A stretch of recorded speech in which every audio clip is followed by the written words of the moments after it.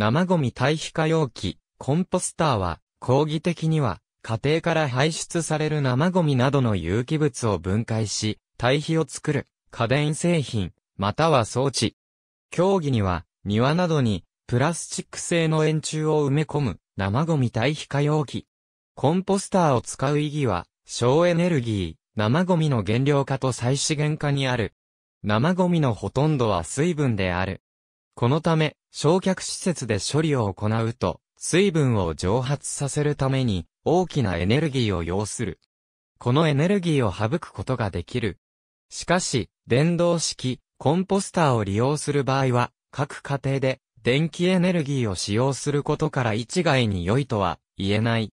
原料化に関しては、生ゴミの水分を蒸発させかつ、液分解性有機物を二酸化炭素や水に変換できるため、生ゴミのほとんどを原料化できる。また、原料化によって残ったものは堆肥であり、生ゴミの再資源化ができる。コンポスターは、微生物によって生ゴミ等を分解し、処理を行う方法である。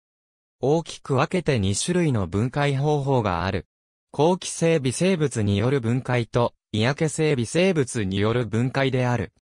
後期型コンポスターと嫌気型コンポスターの違いは、有機物を分解する微生物の種類である。後期型コンポスターは、後期性微生物によって分解され、嫌気型コンポスターは、嫌気性微生物によって分解される。この微生物の違いが、後期型コンポスターと、嫌気型コンポスターの違いになる。両、タイプとも、微生物を使用するため、環境次第では微生物分解が行われないこともあるため、最低限のメンテナンスを要する。後期型は、後期性微生物によって生ゴミの分解を行う。後期性微生物は分解を行う際、酸素を必要とするタイプである。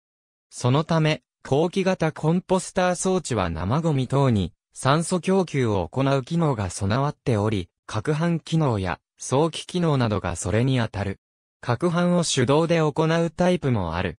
また、後期性微生物の活性が高くなる温度帯が摂氏40度前後と摂氏60度前後にあるため、加熱機能を持つコンポスターも多い。保温性が高いコンポスターならば、微生物の自己発熱によって摂氏40度以上になることもある。バイオ式性ゴミ処理機は後期型コンポスターに分類される。後期性微生物は呼吸代謝によって分解を行うため酸素を要求する。そのため、酸素を供給する機能として、早期や攪拌機能が求められる。また、後期性微生物の活性が高くなる温度は、摂氏40度前後と摂氏60度前後にある。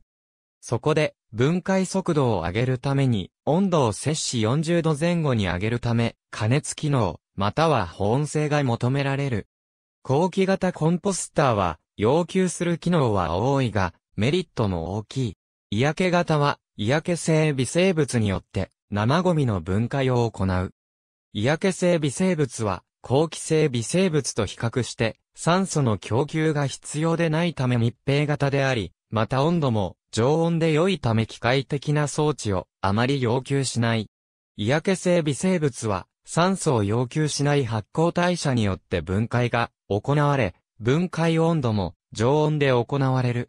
そのため、要求される機能は少ないが、デメリットもある。コンポスターの断面庭などに、プラスチック製の円柱を埋め込み堆肥を作る容器。このタイプのコンポスターは、攪拌と水分の調整などをしっかりと行っていれば、後期型コンポスターとなるが、攪拌不足や水分過多による通気性の阻害によって酸素供給が阻害されると悪臭を発し分解速度の遅い、嫌気型コンポスターとなってしまう。嫌気型コンポスターでも、生ゴミは分解され堆肥はできるが、後期型と比較すると、品質の落ちるものになってしまう。また、後期時、嫌気動機ともに、密閉をしっかりとしないと虫などが湧いてしまう。これらのため、生ゴミ堆肥化容器は、保守管理が重要である。生ゴミを投入した直後は、生ゴミを堆肥化容器内の微生物に触れさせ、分解効率を高めるためよく攪拌を行う。また、生ゴミ投入後は、最も微生物が酸素を要求する時であるから、いつもよりも、攪拌の頻度を増した方が良い。生ゴミを投入していない時期は、攪拌の頻度は少なくても良い。水分に関して、最も気をつけなければいけないのは、水分型である。これは、生ゴミのほとんどが水分であることに起因する。生ゴミの含水率は80%、WB 以上であり、これは、乾物質量1に対して水分が4以上である。そのため、できる限り生ゴミの水分を切ってから投入することが望ましい。もしも、水分過多になってしまった場合は、乾燥した資材を混ぜることによって、水分割合低下させて、通気性を改善する。資材は、市販のチップに限らず、乾燥した落ち葉や尾が、粉などの乾燥した有機物であれば可能である。逆に、しばらく使用しなかったため水分不足になってしまった場合には、加水が必要である。目安は土を握って、形が崩れない程度が良いとされている。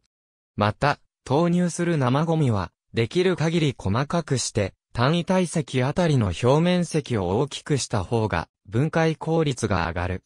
これは生ゴミを分解する微生物が付着する面積が広がるためである。